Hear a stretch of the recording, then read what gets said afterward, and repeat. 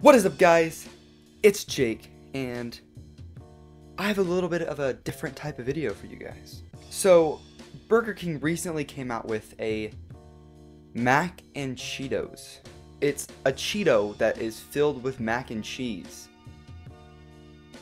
Sounds pretty terrible, but I'm gonna try it. So I drove down to Burger King and I got the mac and Cheetos, and honestly,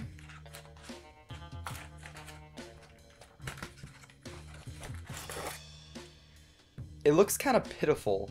Um, it looks like a really like ugly mozzarella stick, to be honest. But we're gonna try it. All right, three, two, one.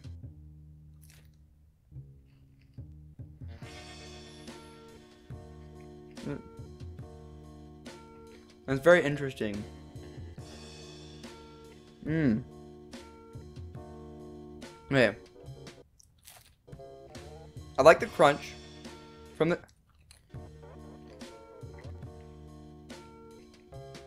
I like the crunch from the Cheeto part. The mac and cheese tastes good at first, then you just get blasted with cheddar. Like it's a very sharp cheddar taste.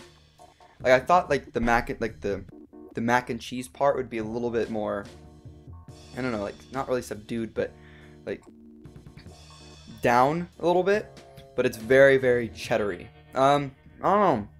Something about them are just good. Like, they're very addicting. It seems like it's a type of food that's gonna get recalled in like a few months because it gave like 10,000 people diabetes or something.